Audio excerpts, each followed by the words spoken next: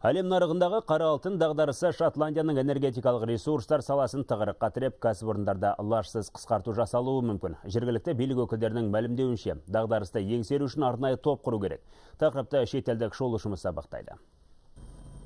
Мұнай бағасының құбылып күн сайын құлдырай түсуі шотландия үшін де бюджет тапшылығы қаупін төндіріп тұр. Егер жағдай жақын арада оңалмаса елдегі энергетика саласының қызметкерлерін қысқартуға тура келеді. Мұндай мәлімдемені біріккен корольдіктің құрамындағы елдің бірінші министрі николас стерджин жасады. Британ үкіметінің мұнай және газ индустриясына қатысты салық саясаты мен шикізат бағасының төмендеуі жақын арада қызметкерлерді қысқартуға әкеп соғуы әбден мүмкін. Солтүстік теңіз өңірі шотландия мен біріккен корольдік экономикасының дамуына үлкен үлес қосуда. Сол себепті қол қусырып отыра алмаймыз. Саясаткердің айтуынша бұл жағдайды түзету үшін арнайы жұмыс тобын құру қажет. Жұмыспен қамтамасыз етушілер үшін талқылау алаңына айналатын бұл құрылымды скоттиш энтерпрайз басшысы лена уилсон басқармақ. Басты мақсат экономикалық дамуды қолдап кәсіпкерлік пен инновацияға ынталандыру.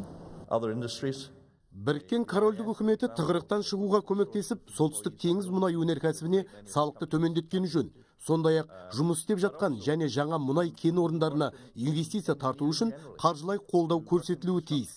Бұл жағдайда шапшаң әрекет етуіміз керек. Қазір шотландияда энергетикалық индустрия саласында екі мыңдай компания жұмыс істейді. Олар халықты 225 мың жұмыс орнымен қамтамасыз етіп отыр. Өңірдегі мұнай және газ еуропалық одақ аумағындағы қордың 60 пайызын құрайды. Жанар байқоңырқызы ыбырай диханбай